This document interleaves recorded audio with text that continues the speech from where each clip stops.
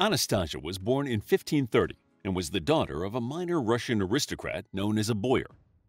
When Ivan was 16, a bridal fair was arranged in which the noble families of Russia were invited to present their eligible daughters for consideration of marriage to the Grand Prince of Russia.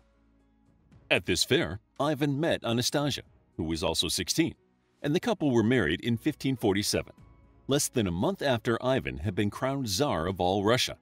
Ivan and Anastasia had six children, but only the two youngest sons would survive to adulthood.